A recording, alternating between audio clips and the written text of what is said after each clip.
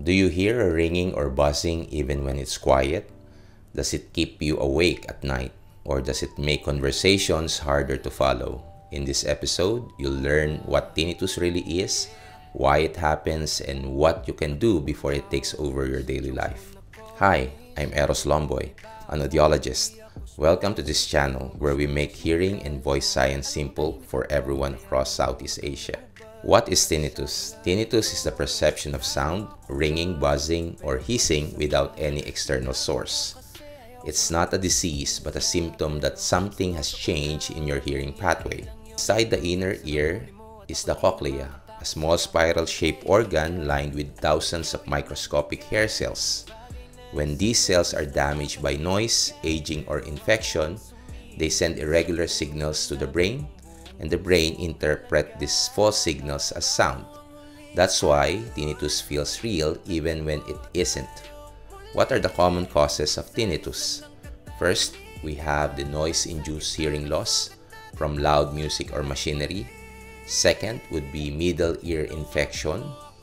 Third, ototoxic medications such as some antibiotics and pain relievers. Fourth, stress and lack of sleep. Fifth, sudden sensorineural hearing loss. Why is it important? Tinnitus is an early warning sign of hearing damage. Ignoring it can lead to listening fatigue and long-term hearing loss.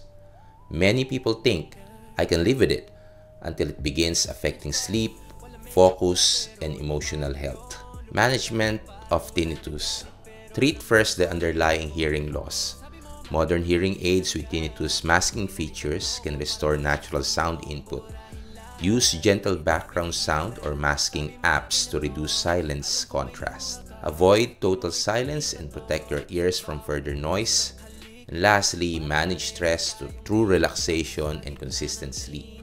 If you ever notice ringing after a concert or long headphone use, that's your ear's warning light. Like and subscribe, comment your location so we can see how far this message reaches, and hit the stars to help funding translations for accessibility along Southeast Asia. Tinnitus isn't all in your head. It's your brain's response to real changes in your ears. Protect your hearing now so you don't wake up to permanent silence later.